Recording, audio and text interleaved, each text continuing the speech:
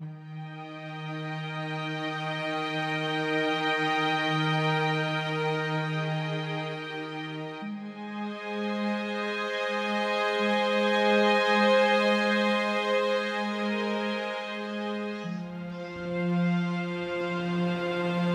who live in limited means, as in on pensions and all that sort of thing, may not have the ability to feed themselves properly.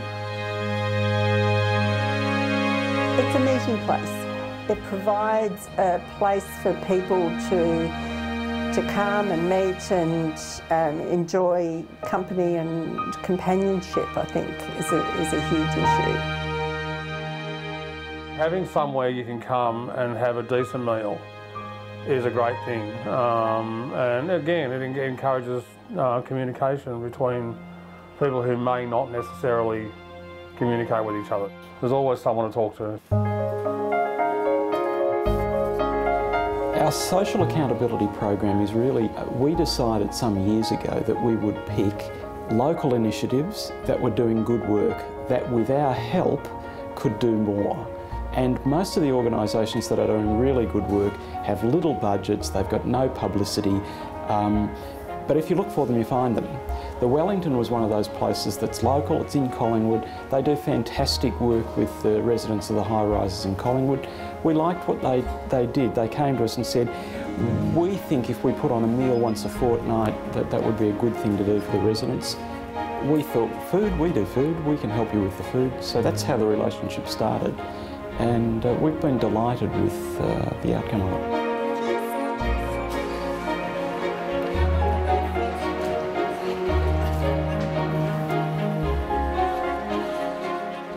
We're a very small little organisation. Um, we've got a very tight budget. I'm the only paid employee here. Um, I've got over 20 volunteers.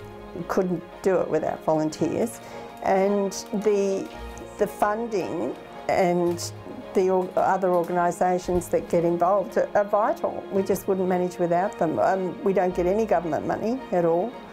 It's all um, philanthropic money. It's, it's a place of diverse cultures, activities, but it's a, a, really, really friendly place. You know if you come here, you're welcome. You can have a feed. Well, it's taken a, a, quite a few years for it to actually get established. But once they got it going, the different people from different areas coming in and you got to know a hell of a lot more people than you originally did. The people coming here now, uh, we know that the, the, by them coming here they can have a, a, meal, enjoy the company and also with the chiropractic service they got here and a few other little items that uh, Bobby has going. Uh, without this, I think the a lot of the area would fall apart. Because they may not have had any contact with anybody. And just a hug can make you warm and fuzzy all over. Hey, she cares about me. She, she does. And I say, isn't it great? You made me feel good too. Because I need a hug. And this has been me for 10 years. They've brought out the best in me. That's why it's good to come to these places because you know, they are friendly, you know the people who, who actually suffer from a lot of problems and that, you know, you know, they have problems in their own homes and things. So they, you know, so you know, so it's, it's like you say, you know, so they can come here, and it's a good atmosphere. You know, they can relax better. You know, like me. Since I've been here, I've expanded the volunteer group with quite a few people who started as clients. Like Elizabeth, you met today. Elizabeth's a client. Um, came here originally um, as someone looking for companionship and a little bit of support. And she's, she's had her demons. Um, she's been a patient at St Vincent's Hospital um, and now has openly accepted that responsibility of she runs a clinic for me on a Thursday. I don't do anything there anymore. She comes in and organises the whole thing. The volunteers are fantastic. They are fantastic people. We saw the conditions that, the, that they were working out of, the volunteers in the kitchen, and um, uh, I think on the day that we came down, they were actually serving the food on the, on the outside of the building in the courtyard, and uh, then the volunteers would walk the food back into the uh, clients and feed them. And um, we thought that there was something that we could do and, and took it back to the Service of the Poor Committee and which then went to Martin and Jared and Martin decided to support it. Well, we had been doing, we, we'd uh, previously been giving the doctors a gift of wine at Christmas. We realised that uh, that was a good thing to do, but we could do better with that uh, money. And so we put it to the doctors, would you be happy if we took that money and did some good with it? And the response was overwhelmingly yes. And uh, so we thought, we looked at the Wellington, we looked at what we're doing there with the food. Their kitchen really needed a bit of work. And uh, so we thought, well, let's renovate the kitchen. The, the response from the doctors has been fantastic.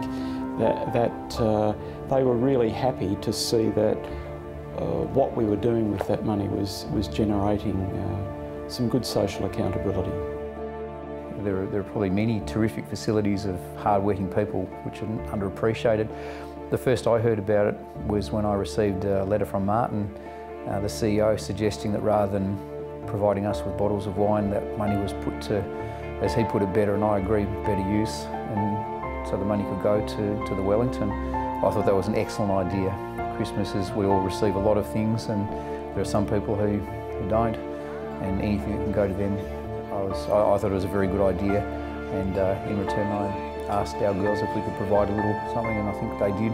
I believe they do very good work and they help people and they might be only small things at the time, cups of tea being there, but providing a cup of tea and being there can, can be pretty important if it's at the right time. Someone like Vinny's coming along and doing that kitchen for us, it, it made a huge difference to the, whole community that uses this building as well, not just the Wellington um, the church community, the God Squad, um, and all the other organisations that use the building. I mean, Narcotics Anonymous use the building, Salvation Army use the building.